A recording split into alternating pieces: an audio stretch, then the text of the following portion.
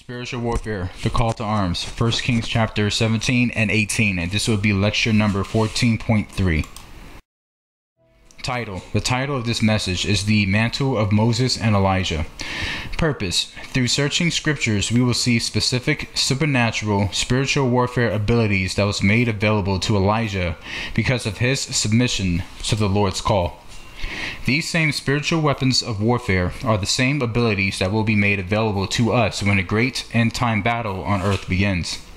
At the end of this message, we will also uncover a very profound revelation that shall set the pace for many around the world to commence their wilderness experience with the Lord as soon as possible. And so the highlight, the the bullet highlight will be the judgments and miracles of God through his servant Elijah. First Kings chapter 17, and it says, And Elijah the Tishbite, who was of the inhabitants of Gilead, said unto Ahab, As the Lord God of Israel liveth, before whom I stand, there shall not be dew nor rain these years, but according to my word. And the word of the Lord came unto him, saying, Get thee hence, and turn thee eastward, and hide thyself by the brook Cherith that is before Jordan. And it shall be that thou shalt drink of the brook, and I have commanded the ravens to feed thee there. So he went and did according unto the word of the Lord, for he went and dwelt by the brook of Cherith, uh, that is before Jordan. And the ravens brought him bread and flesh in the morning, and bread and flesh in the evening, and he drank of the brook. And it came to pass after a while that the brook dried up, because there had been no rain in the land. And the word of the Lord came unto him, saying, Arise, Get thee to Zarephath, which belongeth to Zidon, and dwell there. Behold, I have commanded a widow woman there to sustain thee. So the Lord pronounces a judgment upon the land that rain shall be withheld until Elijah gave the word. The Lord gave authority over Elijah in regards to these plagues. No other person in the earth had the ability to reverse this plague, regardless of their standing before the Lord. It was only given to one man, and this one man was Elijah. Although there was a famine in the land, provision was made to provide for his chosen servants every need. The Lord commanded the ravens to feed him at the appointed time, led him to a safe place in the wilderness hidden from the enemy, and provided him with living waters. The early life of Elijah was never spoken of, and little is known about him and his childhood. This is because Elijah was a hidden servant of the Lord kept away in his secret quiver for a time such as this, when Jezebel, the whore of Babylon, arisen, arises to take the land at that time frame. So we're going to read some scriptures which is going to help validate some of these statements that was just mentioned. In Psalms chapter 127, it says, Except the Lord build the house, they labor in vain that build it. Except the Lord keep the city, the watchman waketh but in vain. It is vain for you to rise up early, to sit up late, to eat the bread of sorrow, for so he grieveth his beloved sleep. Lo, children are an heritage of, heritage of the Lord, and the fruit of the womb is his reward. And it goes on to say in verse number 4 As arrows are in the hand of a mighty man, so are children of the youth. Happy is the man that hath this quiver full of them. They shall not be ashamed, but they shall speak with, uh, with the enemies in the gate.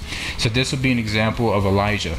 It's because it was the Lord who established the watch over Jerusalem during the time, not only Jerusalem, but of all of Israel during the time of Jezebel and Ahab's reign. So it was the Lord who established the watchman, which was Elijah. And it was the Lord who also set forth provision to his watchman to ensure that he shall be successful in the mission that was at hand. And in verse number four, you know, uh, well, beginning in number three, it says that you know a that children are inherited inheritance from the Lord, and the fruit of the womb is His reward. Right. So these children, Elijah, was a blessed child, a child that came from a blessed family. And so it goes on to make a spiritual parallel, a reflection onto our God, where it says, And happy is the man that hath his quiver full of them, because the Lord has a has his quiver full of these secret weapons, these secret arrows that he has unleashed over the course of biblical history that has made major impacts upon the kingdoms of darkness. And it says that they shall not be ashamed, but they shall speak with the enemies in the gate. And this has been, in this case, Elijah's powerful, you know, key point is that the Lord had Elijah hidden away in his quiver. And when the time came, he was one of his sharp arrows that the Lord pulled out to strike at the heart of the Jezebel Ahab kingdom at this time. And so in uh, Psalms 83, it says, They have taken crafty counsel against thy people, and consulted against thy hidden ones. So you see, this tells you right now that the Lord has his, you know, secret weapons, hidden arrows that he hides away for a time that in which they need to be utilized to make a major impact on a biblical stage. And so Elijah was a prime example of one of these hidden arrows that the, the Lord utilized to make a major impact as we have read throughout the, you know, Bible history. And so in uh, Isaiah 49 it says, Listen, O isles, unto me, and hearken ye before, hearken ye people from afar. The Lord hath called me from the womb, from the bowels of my mother hath he made mention of my name. He hath made my mouth like a sharp sword. In the shadow of his hand hath he hid me, and made me a polished shaft. In his quiver hath he hid me, and said unto me, Thou art my servant, O Israel in whom I will be glorified. So the hidden secret here is that the Lord has a quiver filled with arrows. You know, he has a hidden quiver f- filled with arrows, and when the enemy decides to set, set up a standard against his people to try to destroy his people, to corrupt his people, to cause the people to fall away from their God, which is our God Yahweh, the Lord will then pull one of these arrows out of his quiver and began to unleash it against the enemy and cause major damage to the kingdom of darkness. So Elijah was an example of a hidden child because no one knew of Elijah until the appointed time when he was risen up. Um, next, we read in chap in Isaiah chapter 49 where Isaiah speaks about him being a hidden one. And so in these last days the Lord has a, a hidden group of 144,000 um, chosen vessels that has been hidden for a time such as this, which shall raise up a mighty standard against the kingdom of darkness. So in Revelation chapter 12 it says, And a woman fled into the wilderness, where she hath a place prepared of God, and they should feed her there a thousand two hundred and three score days. So this right here speaks of the provision, how Elijah, the Lord provided the river you know the brooks to give him the water that he needs to survive during the time of the famine through the word that was spoke uh, that was spoken, which withheld the rain, and also uh, we learned that it was ravens that brought meat and bread onto Elijah twice a day to take care of his basic, you know, food nourishments. And so when we read here, we find this parallel in Revelation chapter 12, how when the woman fled into the wilderness, that the Lord already had a place prepared, you know, for her, which she would be fed and taken care of during that season. And so this lets us know that in Revelation chapter 12, the Lord has given us an example in the Old Testament through Elijah and how he actually does this. Because he had Elijah go down to the brook so he has water to drink, and ravens brought food for him twice a day bread and water. Oh, bread and uh, meat. In Revelation chapter 13, it says, And when the dragon saw that he was cast onto, onto the earth, he persecuted the woman which brought forth the man child. And to the woman were given two wings of a great eagle that might fly into the wilderness into her place.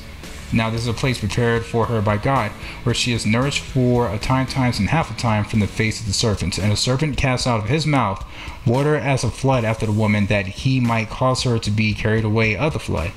And the earth helped the woman, and the earth opened her mouth and swallowed up the flood which the dragon cast out of his mouth.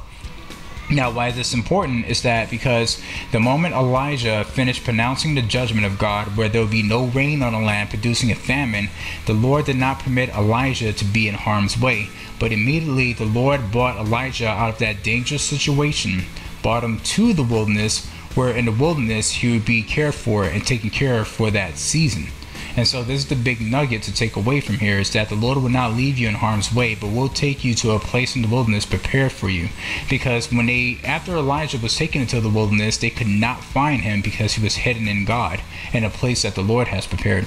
And in 1 King chapter 16 it says, And Ahab the son of Omri did evil in the sight of the Lord above all that were before him. And it came to pass as if it had been a light thing for him to walk in the sins of Jeroboam the son of Nebat, that he took to wife Jezebel, the daughter of Ethbaal, king of, Zid- of the Zidonians, and went and served Baal and worshipped him. And he reared up an altar for Baal in a house of Baal which he had built in Samaria. And Ahab made a grove, and Ahab did more to provoke the Lord God of Israel to anger than all the kings of Israel that were before him.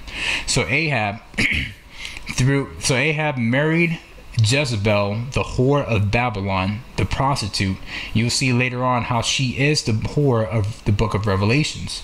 And so he married her, and what she ended up doing is bringing in the worship of Lucifer, because we know that Baal, Beelzebub, prince of the demons, this all refers to Lucifer. So Jezebel who bought in Baal, the worship of Lucifer, is the same as the woman in the book of Revelation who rides the beast, where she will bring down the end time worship of the Antichrist, worship of the dragon and the serpent. And you will see this more in detail. And it's very interesting how she is from Zidon, which is a territory in Tyre in Syria, where we know that the Bible speaks about the Syrian coming, you know, the Antichrist coming to invade Israel. So all this ties together to a more prophetic understanding to the book of Revelations, how the harlot, you know, the woman who is known as, you know, the harlot that rides the beast, the Babylon, the mystery of Babylon, is none other than the spirit of Jezebel. And so, Revelation chapter 2, it says, Notwithstanding, I have a few things against thee, because thou sufferest that woman Jezebel, which called herself a prophetess, because she is a false prophet, to teach and to seduce my servants to commit fornication, in other words, to commit idolatry and a worship of other false gods, and to eat things sacrificed unto idols. This was the ministry of Jezebel in the land of Israel, is that she led God's people away into committing adultery against God and fornicating with idols. And in verse 21 it says, And I gave her space to repent of her fornication, and she repented not because Jezebel is a stubborn spirit.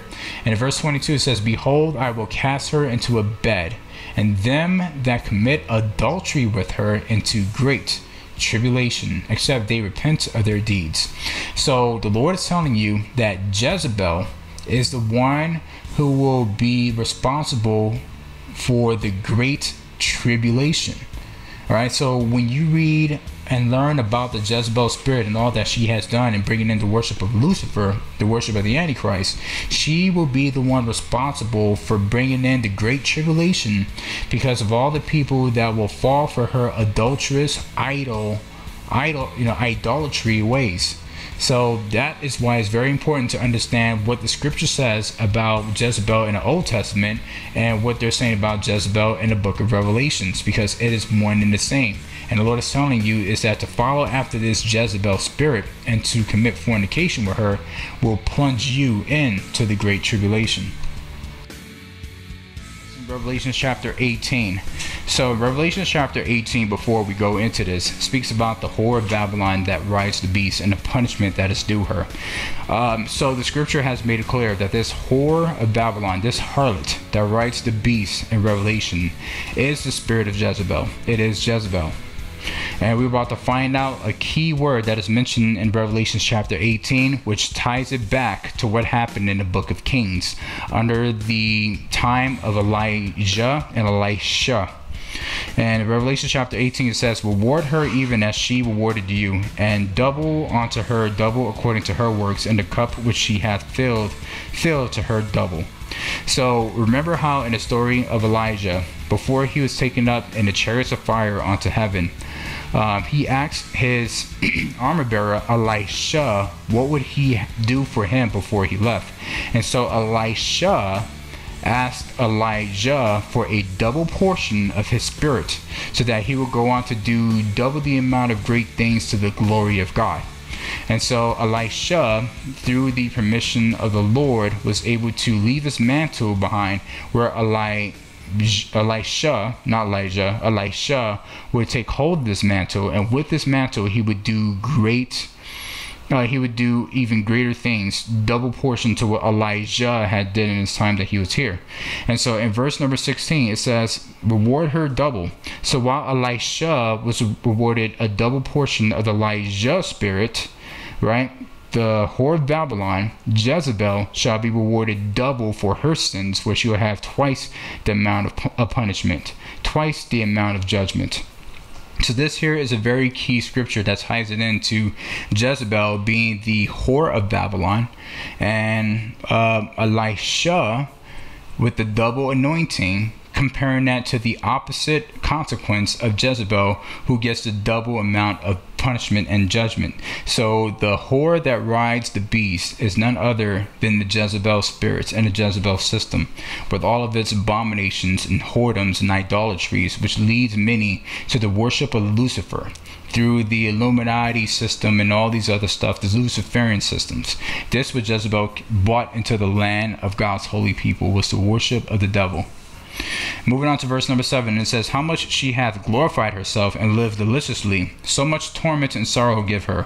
For she saith in her heart, I sit a queen and am no widow, and shall see no sorrow. Now, what's very interesting about this is that Ahab, Remember that Ahab was killed in a battle against the king of Syria, right? And so once Ahab was killed, Jezebel continued to live on as a queen. Now there have been has there has been many successors that has came after Ahab, his sons, which took the throne, and also who were killed, and there was much usurping of which took place of the throne of Israel.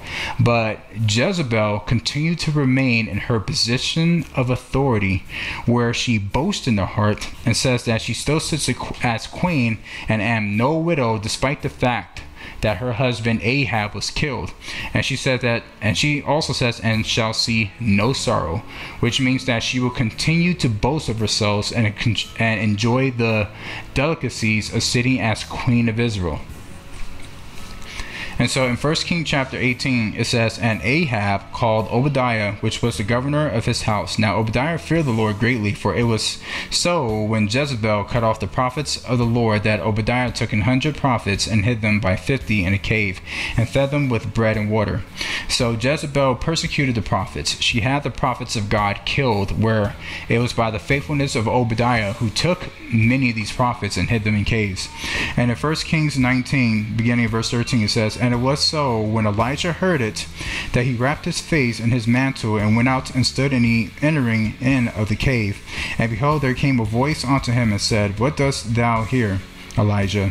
And he said, I have been very jealous for the Lord God of hosts, because the children of Israel have forsaken thy covenant, covenant, thrown down thine altars, and slain thy prophets with the sword and I, even I only, am left, and they seek my life to take it away. So this is after Elijah ran from Jezebel and did 40 days in the wilderness, making his way to the mountain of God, where the Lord spoke to him through fire, well, through a still small voice. In verse 15 it says, And the Lord said unto him, Go return on thy way to the wilderness of Damascus, and when thou comest, anoint uh, Hazael to be king over Syria.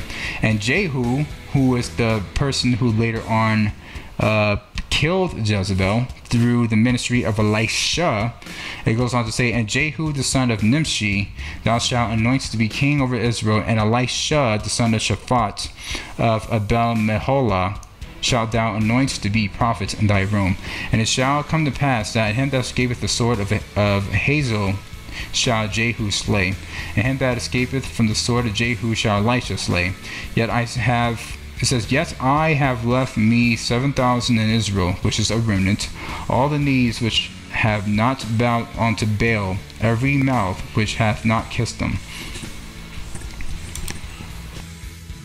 So now we're moving on to Second Kings chapter 9 because you see we're, we're just following a sequence of scriptures which ties into Jezebel being the harlot of Babylon and how the parallels between the Old Testament and the book of Kings and the New Testament and the book of Revelations how it speaks about the same person.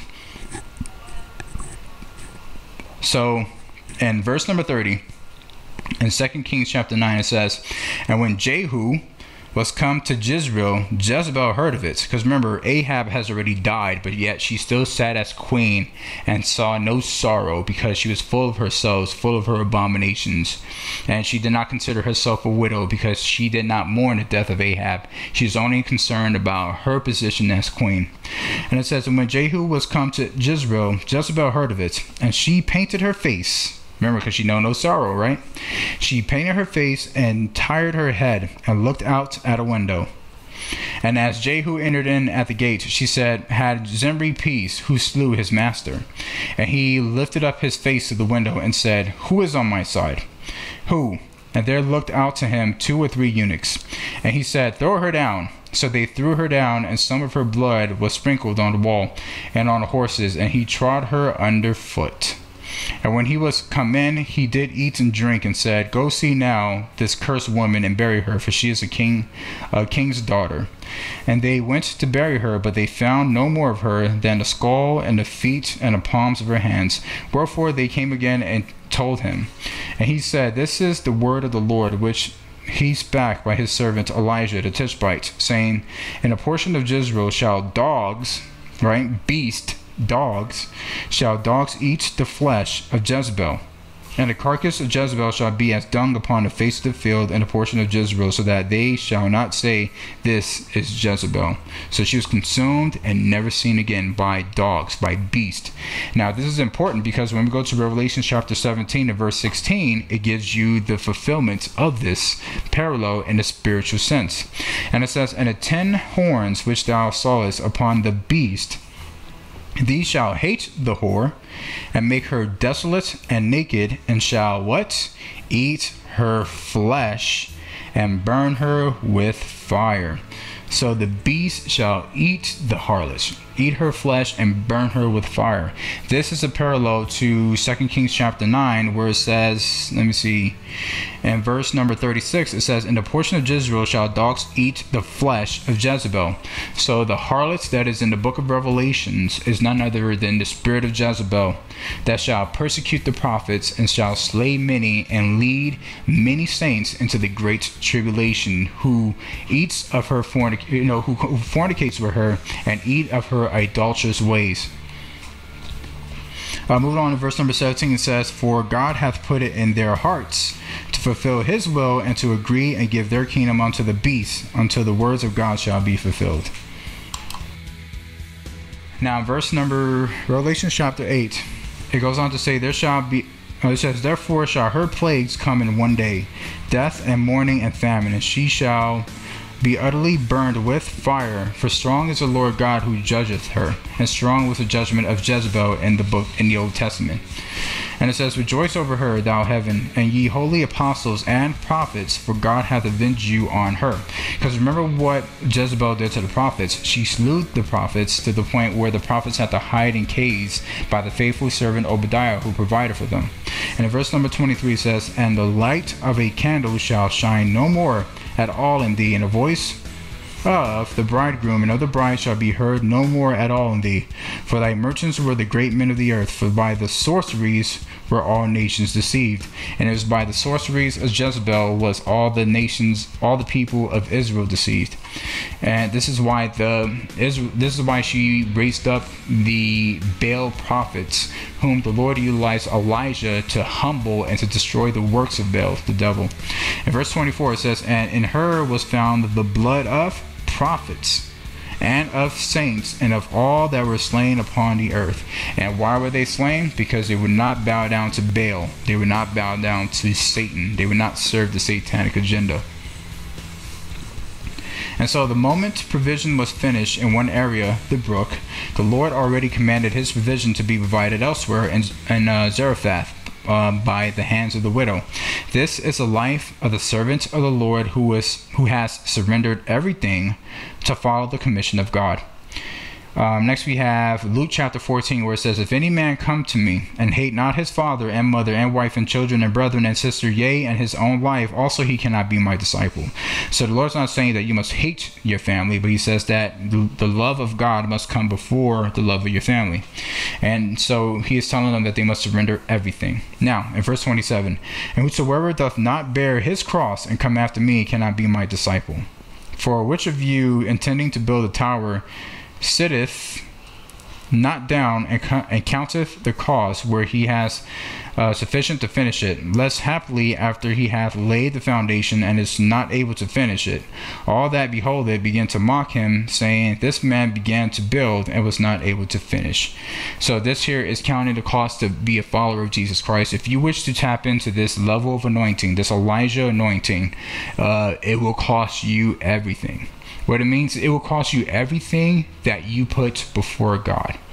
And so many things many people think they don't put before God, but until they're presented with that actual item, that actual thing of great value, then you will realize, whoa, I didn't know I had such value of this thing over God. And so the Lord is telling you that in order to be his mighty Elijah in these end times is going to cost you everything. Verse 31 Or what king going to make war against another king sitteth not down first and consulteth whether he be able with 10,000 to meet him that cometh against him with 20,000? So this here speaks about the spiritual warfare that will be upon you. And verse, and then like, will you actually be strong enough in the Lord to continue on in the spiritual warfare and not give up? And 32 it says, Or else while the other is yet a great way off, he sendeth an uh, ambassage and desireth conditions of peace. But this is the peace that we must make with God and not the enemy. In verse 33 it says, So likewise, whosoever he be of you that forsaketh not all, you see that? So likewise, whoever be of you that forsaketh not all that he hath, he cannot be my disciple. So the Lord is making it crystal clear. Many people say that they want to be used by God in a mighty way in these end times. They want to operate in high levels of anointing. But the Lord is telling you that it's going to cost you. Verse 33 says that you must forsake all things to be his disciple. Just like the 12 apostles forsake everything and followed the Lord wherever he went. In verse 34, it says, Salt is good, right? But if the salt have lost his savor, wherewith shall it be seasoned? It is neither fit for the land nor yet for the dunghill, but men cast it out. He that hath ears to hear, let him hear. So the Lord is saying that, hey, you know, if you claim to be a person who is willing, who has the potential to be this anointed vessel, but yet you begin to walk this line that the Lord is calling you to, and you find out that it's too much for you to, uh, to give up, and you are not willing to give up, and you decide to turn back, then you will be the example of losing your saltiness, for you are no good for any good work, and shall be cast out. So be mindful about the decisions that you make and count the cost of what it will cost you. Because there is a great price to pay for the anointing. Now we're moving on to 1 Kings chapter 17, and it says, So he arose and went to Zarephath, and when he came to the gate of the city, behold, the widow woman was there gathering of sticks. And he called to her and said, Fetch me, I pray thee, a little water in a vessel, that I may drink. And as she was going to fetch it, he called to her and said, Bring me, I pray thee, a morsel of bread in the hand. And she said, As the Lord thy God liveth, I have not a cake, but a an handful of meal in a barrel, and a little oil in a crust. And behold, I am gathering two sticks, that I might I may go in and dress it for me and my son, that we may eat it and die. So as you can see, this widow was down on her luck because the famine had struck the land and her provision was running out. Verse 13 And Elijah said unto her, Fear not, go and do as thou hast said, but make me thereof a little cake first, and bring it unto me, and after make for thee and for thy son. For thus saith the Lord God of Israel, The barrel of meal shall not waste, neither shall the crust of oil fail until the day that the Lord sendeth the rain upon the earth. So this required a great deal of faith for this woman to believe this word that she was to do this thing. But then again, she had nothing to lose because death was the next option after she had this small morsel of provision to eat. And so now, the servant who takes care of a prophet of God shall reap a mighty reward, as we see in this story. Sometimes it will result in the servant to give their very last to support the mission of the prophet by faith. A great reward shall be reaped, especially in a time of great lack.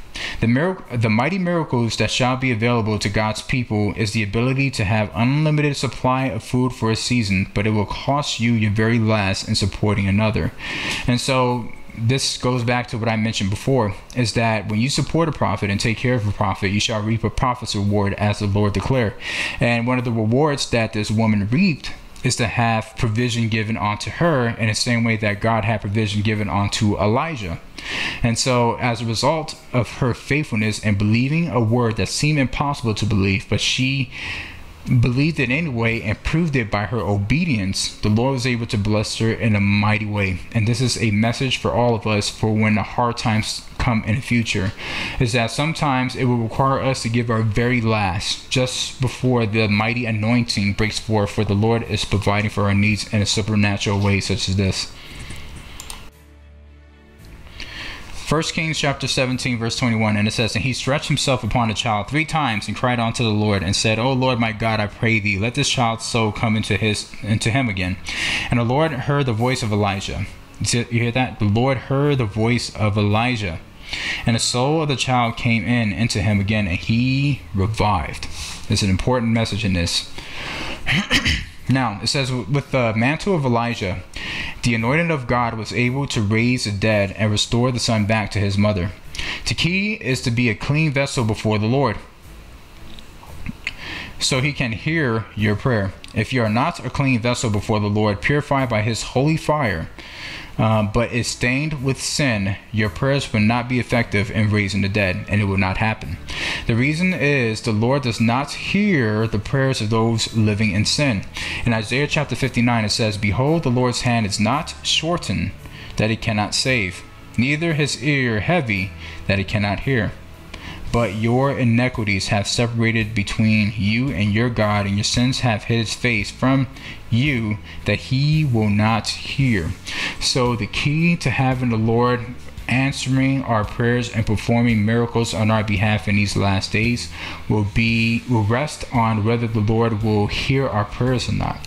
And this will be greatly determined by the sins, the unrepentant sins you have in your life. Sins in your life that you have not repent of will hinder the miracles of God from operating in your life. This is why you must be a, you know, instruments of gold. You must be uh, vessels of gold and not of wood and clay, because vessels of gold is what the Lord shall up, operate His anointing through. And Elijah was an example of a vessel of gold, because he was purged of his flesh he was repentant of all sins that he was able to do accordance with the sanctification of the Lord. And as a result, in verse number 22, it says that, and the Lord heard the voice of Elijah. So if the Lord heard the voice of Elijah, then that means that he stood in righteousness and in purification before the Lord. So if you wish to operate in this soon anointing to be poured off, it's strongly recommended that we all take a look in the mirror, a serious look in the mirror, and be honest with God and tell Him the struggles we have in our life, for He is able to sanctify us and purify us of these sins. All right, so move along, and it says, In order to be that anointed vessel of Yahweh, positioned to receive the end time anointing to come, you must be a clean vessel, purged of the sins of this world. This does not mean to be perfect, but rather to press in deeper in your personal relationship with Yahshua, so He can remove those things which bind you up. Only He can purify you, and this is done through His blood, in which He shed on the cross. Now we're at 1 Kings chapter 18, verse number 1, and it says, And it came to pass after many days that the word of the Lord came to Elijah in the third year, saying, Go show thyself unto Ahab, and I will send rain upon the earth. And Elijah went to show himself unto Ahab, and there was a sore famine in Samaria, the capital of Israel. And so in verse number 42, it says, So Ahab went up to eat and to drink. And Elijah went up to the top of Carmel, and he cast himself down upon the earth and put his face between his knees. And it came to pass that at the seventh time, so we have to be very persistent at times when the Lord commands us to do something, not quitting on the first try, but it took seven times for this to happen. And it says, uh, and it came to pass at the seventh time that he said, Behold, there ariseth a little cloud out of the sea, like a man's hand. And he said, Go up, say unto Ahab, Prepare thy chariot, and get thee down, that the rain stop thee not. And it came to pass in the meanwhile that the heaven was black with clouds and wind, and there was a great rain. And Ahab rode and went to Jezreel, and the hand of the Lord was on Elijah, and he girded up his loins and ran before Ahab to the entrance of Jezreel. So, with complete and unwavering obedience and the to the will of the Lord, Elijah went th- uh, where the Lord told him to go and spoke what he heard the Lord tell him to say. When the appointed time was right, the Lord commanded Elijah to speak the word and by faith to be persistent, trusting in his instruction until the word was fulfilled. So, in order to be counted worthy for the end time anointing to come, the Lord expects an end time army that will obey his every order without question and do only that uh, which he tells us to do. So, the higher the anointing, the higher the cost if we disobey.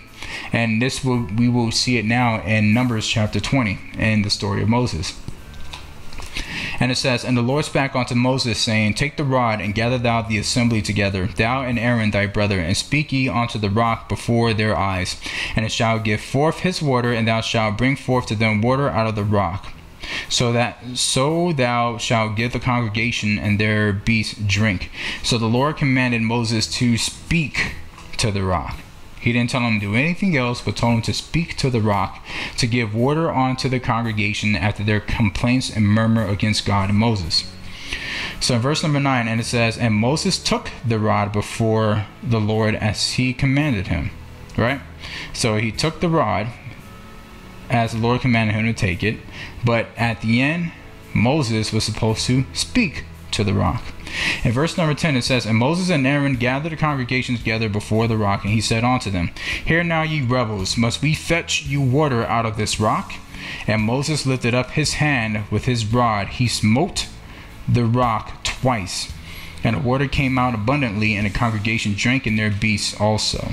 So, as you can see here, Moses disobeyed the word of the Lord. The Lord told him to speak to the rock, but yet Moses and his anger, given into his anger and frustration of the people, and in the pride and rebellion against the commandment of God, thinking that he can do this and God will be okay with it, he strikes the rock twice.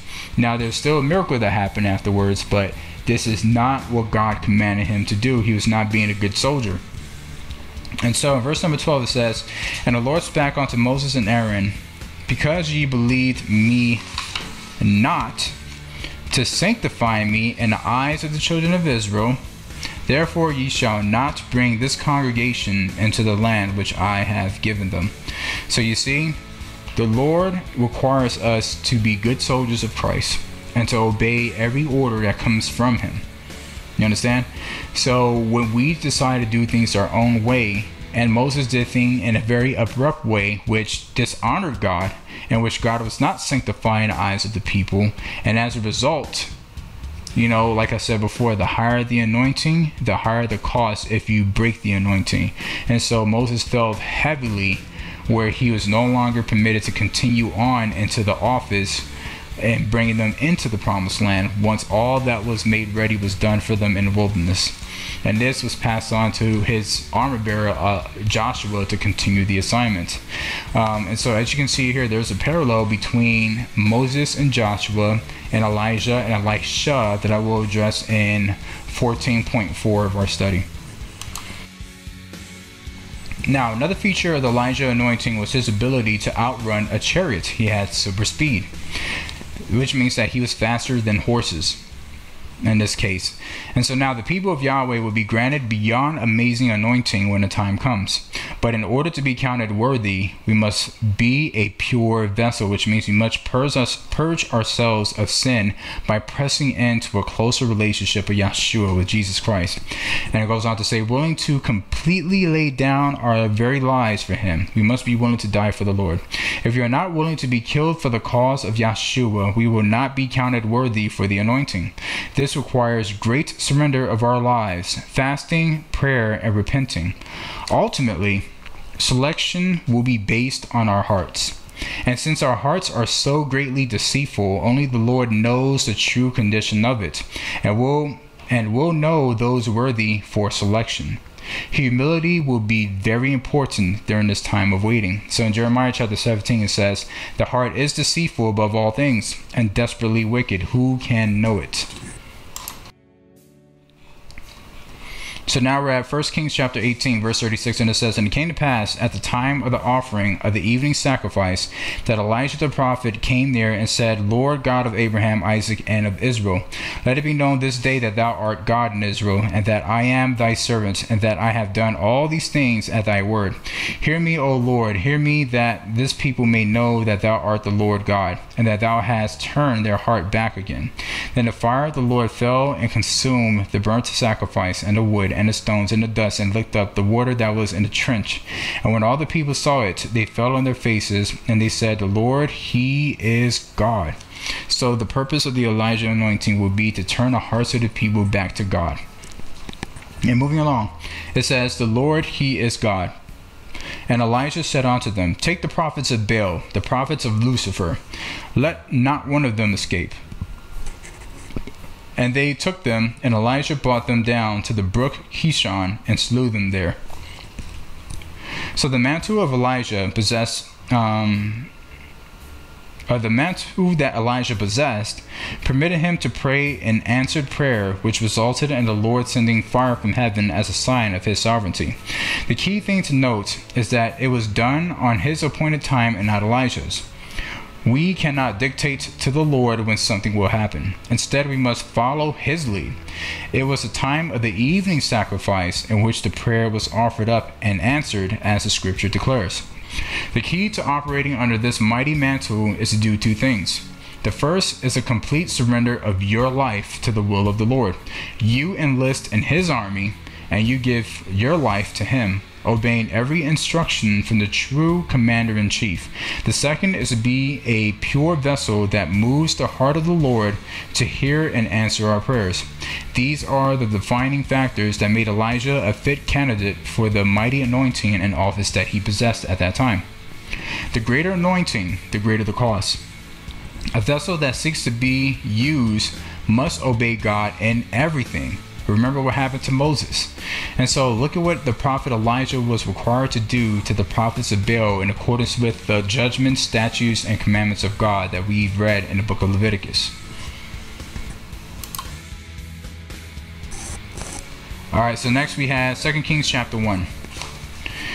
And it says, Then the king sent unto him a captain of fifty with his fifty, and he went up to him, and behold, he sat on the top of an hill. And he spake unto him, Thou man of God, the king hath said, Come down. Well, looking at that. this, a direct order, right? And so in verse number 10, it says, And Elijah answered and said to the captain of fifty, if I be a man of God, then let fire come down from heaven and consume thee and thy fifty. And there came down fire from heaven and, consumed him and his fifty. Again also he sent unto him another captain of fifty and his fifty. And he answered and said unto him, O man of God, thus hath the king said, Come down quickly. And Elijah answered and said unto him, If I be a man of God, let fire come down from heaven and consume thee and thy fifty. And the fire of God came down from heaven and consumed him and his fifty. Verse 13. And he sent again the captain of the third fifty with his fifty. And the third captain of fifty went up and came and fell on his knees before Elijah, and besought him and said unto him, O man of God, I pray thee, let my life and the life of this fifty thy servants be precious in thy sight. Behold, there came fire down from heaven and burnt up the two captains of the former fifties and their fifties. Therefore let my life now be precious in thy sight. And check this out. It says, And the angel of the Lord said unto Elijah. So look who was bringing down fire from heaven by the spoken word of Elijah. It was an angel of the Lord who was sent to minister unto Elijah. So now go down with him. This is what the angel says. It says, Go down with him be not afraid of him. And he arose and went down with him unto the king. And he said unto him, Thus saith the Lord, For so much as thou hast sent messengers to inquire of Beelzebub, the god of Ekron, or Lucifer, shall we say, it is not because there is no God in Israel to inquire of his word. Therefore thou shalt not come down off of that bed on which thou art gone up, but shalt surely die. And so what was so interesting is that in verse number 15 it says, And the angel of the Lord said unto Elijah. So what we are witnessing here is a partnership, a team that is taking place where Elijah was speaking forth a word, and then there was an angel that the Lord commanded to serve Elijah in these things, for they are ministering spirits unto those who are receiving salvation, right? And the, this angel of the Lord was bringing down fire from heaven with the authority that God gave him to consume these captains. That is a huge nugget to remember for the end times because in the end times. The Lord will be giving angels will be given you know his anointed vessels charge know you know general military command over angels where the angels will be serving us and assisting us and carrying out the will of God where we will speak something forth and these angels like faithful soldiers of the Lord will go forth and execute it in the way we see it here. All right, so anyway, it says for a, a brief background story, the name of the king that sent for Elijah was King uh, uh, Ahaziah. Uh, he was the king of the northern part of Israel after they were divided. He fell ill after an accident and told his messengers to consult Beelzebub, prince of the demons, to see if he will recover. While en route, the Lord has Elijah intercept this messenger and deliver a word from him. After the king received this word from the messenger, he then directed that they bring Elijah to him. So this is how we got to this point. But now, let's talk about Beelzebub real quick. In Luke, verse number 11, it says, well, chapter 11, verse 14, it says, And he was casting out a devil, and it was dumb, and it came to pass when the devil was gone out, the dumb spake, and the people wondered. But some of them said, He casteth out devils through Beelzebub, the chief of the devils. And others, tempting him, sought of him a sign from heaven. But he, knowing their thoughts, said unto him, Every kingdom divided against itself is brought to desolation, and a house divided against its a house divided against a house falleth. If Satan also be divided against himself, how shall his kingdom stand? Because ye say that I cast out devils through Beelzebub. So right here, the key thing I want you to take away is that the Lord reveals the identity of Beelzebub as Lucifer himself. And so Jezebel the whore of Babylon, is the one who introduced the worship of Satan, Baal, to the Israelites. When we go back to 1 Kings chapter 16, it says, And Ahab, the son of Omri, did evil in, the sight of the Lord above all that were before him. And it came to pass, as if it had been a light thing for him to walk in the sins of Jeroboam, the son of Nebat, that he took to wife Jezebel, the daughter of Ethbaal, king of the Zidonians, which means that king of Tyre, and we know this prophecy is speaking about the Antichrist concerning Tyre, and went and served Baal and worshipped him. In Ephesians chapter 2 it says, Wherein in time past you walked according to the course of this world, according to the prince of the power of the air, the spirit that now worketh in the children of disobedience. So Baal, Beelzebub, Lucifer, Satan, all the same person. Now, there were three battle waves that came to Elijah in response to the king. The total number of soldiers that came for one man was 153, including the captains. Because of their vast numbers, they thought that they were they would have the advantage over Elijah. But little did they know that the Lord had sent an angel to guard Elijah against the king's men. Little did they know that Elijah was ordained by God to be a general in his army because he was able to speak these words and the angels carried the wrath of God out upon those soldiers. By the spoken word of Elijah, the angel that was with him called down fire from heaven to consume the 102 armed and battle ready soldiers. This is an ability that those possessing the end time anointing to come will be able to do. It was not until they came to the man of God with a humble spirit did the Lord permit Elijah to go down with them. Proverbs chapter 16 says, Pride goeth before destruction, and a haughty, spirit before a fall. And we see the scripture being fulfilled in the case of the men with 50 that came against Elijah. In James chapter 4 it says, But he giveth more grace. Wherefore he saith, God resisteth the proud, but give grace unto the humble. So these soldiers came, the first wave of soldiers came very proud and arrogant and the Lord resisteth the proud, and he will consume. But as the waves, the second and the third wave came, you notice there was a trend where they became more and more humble. And in Psalms 91, it says, A thousand shall fall at thy side, and ten thousand at thy right hand, but it shall not come nigh thee. Only with thine eyes shalt thou behold and see the reward of the wicked. Because thou hast made the Lord, which is my refuge, even the Most High, thy habitation. There shall no evil befall thee, neither shall any plague come nigh thy dwelling. For he shall give his angels charge over thee to keep thee in all thy ways. They shall bear thee up in their hands, as thou dash thy foot against a stone. And so, right now, you saw an example of Psalms 91 being fulfilled in Elijah when he had that experience against the captains of 50.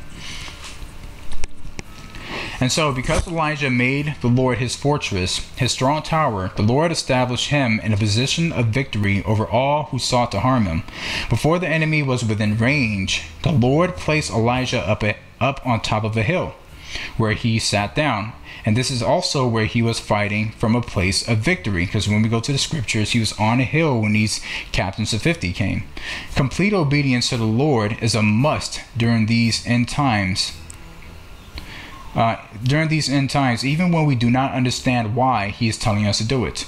The Lord Yeshua, as our commander in chief, has complete strategic intel on all of the enemy's plans, maneuvers, and tactics. Before the enemy can strike you, He positions you, this is the Lord, he positions you to so you fight from a position of victory. But as a soldier, we must be willing to obey every direct order that is coming from the Lord. So this can be possible.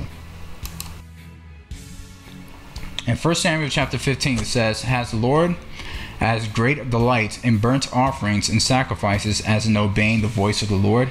Behold, to obey is better than sacrifice, and to heed than a fat of rams. Okay, so the Lord is telling you it is better to obey what He tells you to do than you to seek out to do good works that you believe that He will approve of. Obedience is key. You must be a good soldier of Christ and obey God in all that He commands you to do. Second Timothy chapter 2 says, Thou therefore endure hardness as a good soldier of Jesus Christ. No man that warreth entangled himself with the affairs of this life, that he may please him who hath chosen him to be a soldier.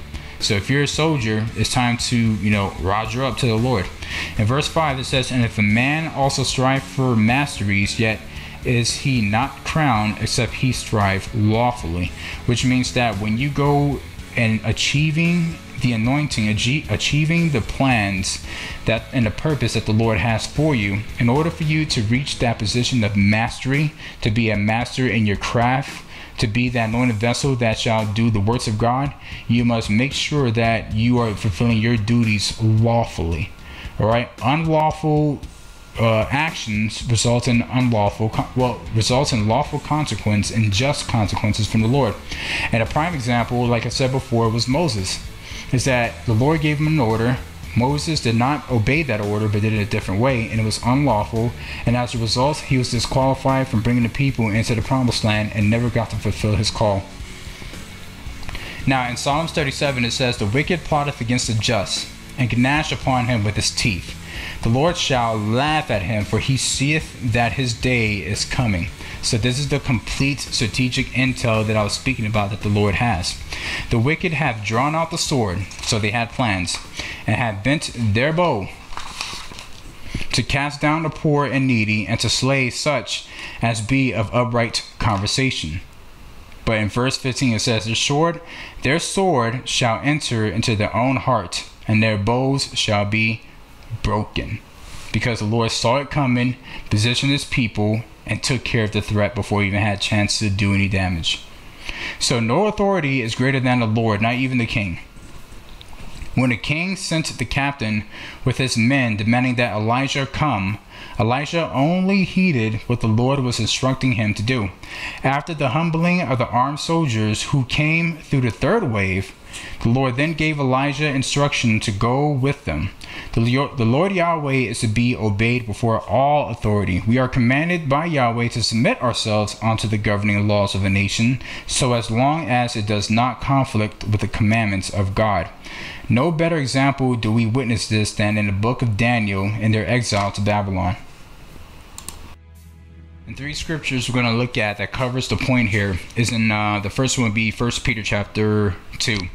And it says, Submit yourselves to every ordinance of man for the Lord's sake, whether it be the king as supreme, or are unto governors as unto them that are sent by him for the punishment of evildoers and for the praise of them that do well. For so is the will of God that with well doing ye may put to silence the ignorance of foolish men. And in Romans chapter 13 it says, Let every soul be subject unto the higher powers, for there is no power but of God. The powers that he are ordained be are ordained of God. Whosoever there uh, resisteth the power resisteth the ordinance of God, and they that rest or that resisteth shall receive to themselves damnation. For rulers are not a terror to good works, but to evil. Without then not be afraid of the power. Do that which is good and thou shalt have praise of the same. For he is a minister of God in thee for good. But if thou do that which is evil, be afraid, for he beareth not the sword in vain. For he is a minister of God, an revenger to execute wrath upon him that doeth evil. Wherefore ye must needs be subject not only for wrath, but also for conscience sake right now we're being told why it's important to submit to our governing authorities because it was established by God to establish the purpose of God. But as I said before, God's commandments supersede all others. And in Acts chapter 5, we see this example. And it says, Then came one and told them, saying, Behold, the men whom ye put in prison are standing in the temple and teaching the people. Then went the captain with the officers and brought them without violence, for they feared the people lest they should have been stoned. And when they had brought them, they set them before the council and the high priest and asked them, saying, Did not we straitly command you that ye should not teach in this name? And behold, ye have filled Jerusalem with your doctrine and intend to bring this man's blood upon us. Then Peter and the other apostles answered and said, We ought to obey God rather than men. And so now we are making it to 2 Kings chapter 2, and it says, And fifty men of the sons of the prophets went and stood to view afar off, and they and the two and they too stood by Jordan. And Elijah took his mantle and wrapped it together and smote the waters, and they were divided hither and thither, so they so that they too went over on dry ground. So now that we approach towards the end of our lesson of today, this here is a nugget that I spoke about that will reveal a mystery that shall definitely catapult many people to start running into the wilderness and get themselves ready for the Lord. And so it says, one of the greatest feats concerning the Elijah mantle was the ability to make a way in places where there is no way. With the mantle that shall be released upon the chosen vessels of Yeshua shortly, they will have the ability to part waters in impossible places and make a way for travel and escape for themselves and Yah's people during the tribulation. Note, however, that it was by divine wisdom from the Lord that Elijah knew to do this. The evidence is observed through the servant Joshua.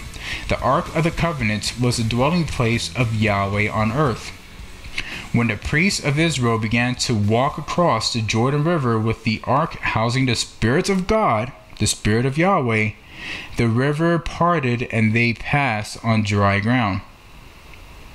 Now, here's the revelation.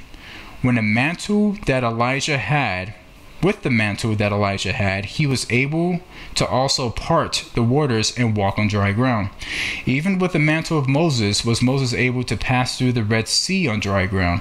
With the mantle of Enoch, was Enoch taken to heaven and never seen again. And also with the mantle of Yeshua, was he able to walk on water and not sink.